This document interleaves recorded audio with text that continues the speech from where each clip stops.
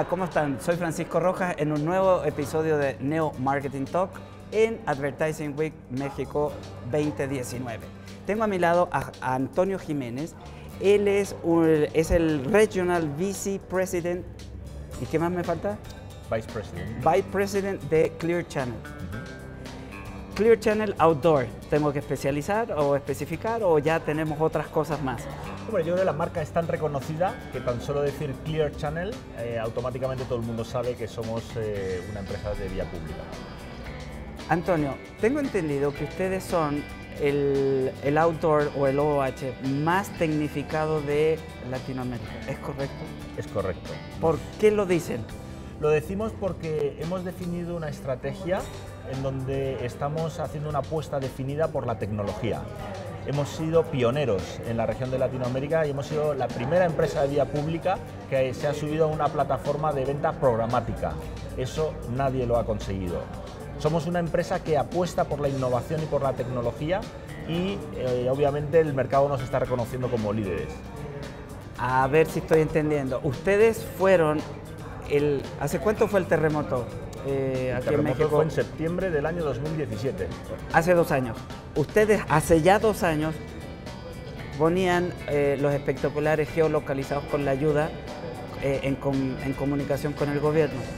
Nosotros lo que hacemos es ponemos a disposición del gobierno todas nuestras pantallas para realizar comunicaciones masivas a la población cuando hay algún tipo de urgencia.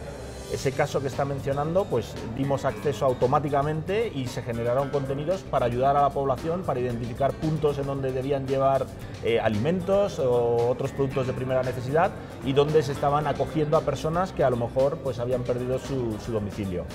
Hace dos, eso fue hace dos años. Eso fue hace dos años. ¿Qué evolución han tenido al día de hoy? Eh, es que nosotros tenemos, digamos, dos tipos de clientes. Tenemos un cliente que son las marcas, que necesitan comunicar a la audiencia que nosotros les facilitamos, y tenemos otro cliente que son las ciudades. El ejemplo que nos has dado es un ejemplo de una ciudad en donde nosotros ponemos a su disposición el canal de comunicación. En el caso de las marcas es donde yo me había referido en lo que serían plataformas de compraventa programática. Como tú sabes, la evolución en el futuro va a ser que más del 80-90% de la inversión publicitaria se va a comprar y vender vía estas plataformas programáticas. Exacto. Nosotros en vía pública hemos sido los primeros en ofrecer esta posibilidad a las marcas y esa ha sido una evolución muy importante desde hace dos años hasta estos momentos. Antonio, tú acabas de salir de un panel. Sí. Eh, el panel, ¿qué nombre tenía? El panel era eh, cómo planificar una, una, campaña en Aurofone. Ok. Eh, si tuvieras que resumir en dos, tres, cuatro puntos para las personas que no pudieron asistir, ¿qué les dirías? Pues yo les diría que este ha sido un caso de éxito, que hemos trabajado con Twitter para dar a conocer a la ciudadanía eh, los debates electorales que se estaban produciendo en el país, las propuestas que estaban haciendo los candidatos y lo que queríamos era promocionar que la gente joven, los millennials, participaran del debate. Entonces era un reto muy grande y lo que hicimos fue eh, dar a Twitter la posibilidad de utilizar nuestras pantallas de forma interactiva. Ellos nos generaban eh, los contenidos y nosotros definíamos en qué momento del día y en qué pantallas de la ciudad se ubicaban para así activar a las personas y que de alguna forma respondieran y que participaran en el debate.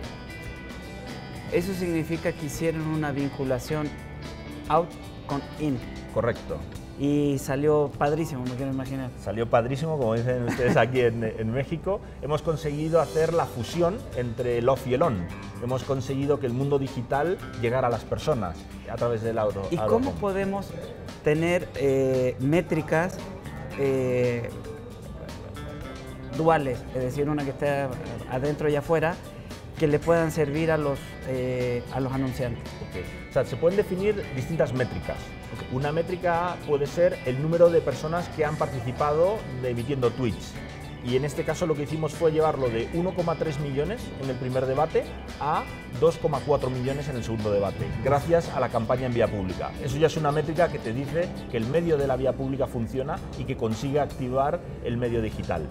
Otra métrica, por ejemplo, puede ser el número de personas que han podido pasar cerca de las ubicaciones, porque gracias a la tecnología y al teléfono móvil, ahora podemos saber el número de personas que están pasando.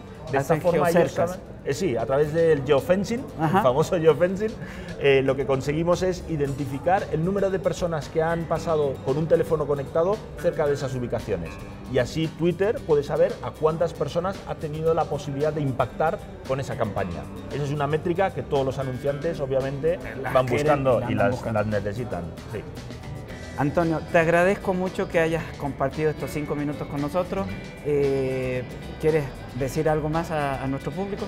No, simplemente invitarles a que llamen a Clear Channel para eh, que les apoyemos a comunicar, comunicar mejor los mensajes que tienen que eh, emitir y para llegar a su audiencia objetivo. tenemos un equipo muy competente aquí en México, tenemos un departamento de tecnología que verdaderamente asesora a nuestros clientes para que utilicen el medio de la manera adecuada y simplemente pues eh, invitarles a que nos contacten para que pensemos fuera de la caja, ¿no? como nos invita el AdWeek, ¿no? con el logo que es la cabeza que se abre y que de alguna forma piensen cómo la vía pública puede apoyarles en su estrategia de comunicación. Muchísimas gracias Antonio y gracias por estar con nosotros. Un auténtico placer.